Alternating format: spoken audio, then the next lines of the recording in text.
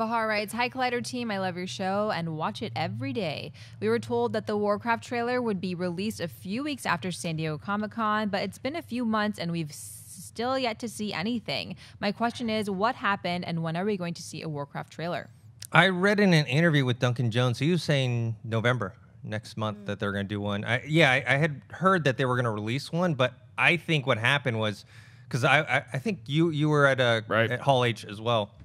I think when they released it, I think they were expecting people to be like their minds to be blown, but it was just good. It wasn't like great, and I think they wanted to spend more time on the visual effects because it, it looked good, but it still looked like a video game, and I think they wanted people to have a better like uh, idea of it. What do you guys think? I felt like I was watching uh, my friend play the video game, and I also felt like I was watching some scene from The Hobbit: The Battle of the Five Armies, which is mm. not what I wanted to see from Warcraft. I know it's based on a game, and I think one of the big problems or one of the issues that they're going to have to overcome is that you're not just facing an enemy that's all CGI. It's not like there's a bunch of human beings that are facing bad guys that are CGI. There's people that you're rooting for that are entirely CGI or motion capture, performance capture created, and that has to look realistic enough to where you can bond with those characters emotionally.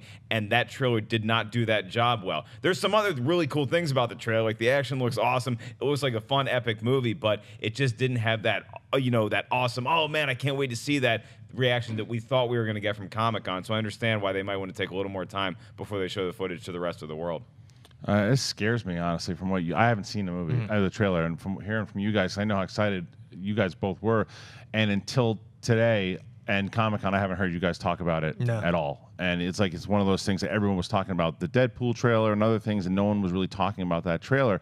And I love Duncan Jones. I love yeah. I love Moon and I love Source Code, um, and I really want to see him take this step. And I want to see him be one of the guys responsible for the the, the video game boom, um, movie video game movie boom. And it really it's it's disheartening to hear that it looks like The Hobbit. I wanted to, I wanted to hear it looked like Lord of the Rings. But but time is not necessarily of the essence yet with the movie with the trailer coming out because from a marketing standpoint, the movie comes out in 2016. I think the summer 2016. Yeah. So having a first teaser trailer come out sometime around Thanksgiving or even Christmas is fine. Yeah, but that's you know? not but that's not the even even if they put all the time and effort into it, it's the fact that they're it, they're doing like you said doing the same thing Hobbit did is where I think even I, uh, to hear people that were in the movie say things along the line of that there shouldn't have been as much CGI for The Hobbit, you know, and and it's like if you look at like the orcs mm-hmm. in Lord of the Rings, so much more devastating and powerful because they were dudes in makeup. You know, they were do- and and that's kind of what I was hoping we get we get a lot more of that. And and look, I have not seen the trailer, so I don't know. I'm just going off of things that I've heard from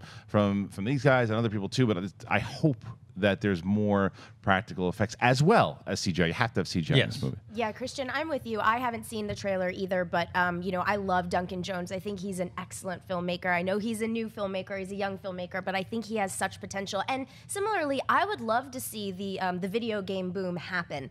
Um, that being said, I did want to mention, you know, we, um, you know, in terms of the CG characters and things like that, you know, I love what they've done in the Planet of the Apes movies, and if there's ever, you know, a positive case for a CG character, a CG creature. It's what they've been able to do right. in those movies. So here's hoping that it's more along those lines. That's also straight up performance capture Absolutely. as well too. I just want to make it like if you're telling me if you were telling me that this was performance capture uh, and not just not just CGI like that, that the creatures were people I think it was doing a pretty the performances. Good mix. I think it was pretty yeah, it was mixed. That's great. Then I'm, I'm like I said I haven't seen it, so I'm on I'm on board for that because yeah to take like CG you have Planet of the Apes one of my favorite uh, Dawn of the Planet of the Apes was one of my favorite movies um, last year, and CGI. You have you can't do that movie without CGI. So that's that's what I mean. I know it was just a short clip, but I didn't get that emotional response or mm-hmm. connection to the characters like I did with Dawn right. of the Planet of the Apes. Right. Like with that one, I'm like, oh, I feel for those characters. I'm on their side. And I think that's what they wanted to do with the orcs on this. I just don't think they succeeded, at least not yet.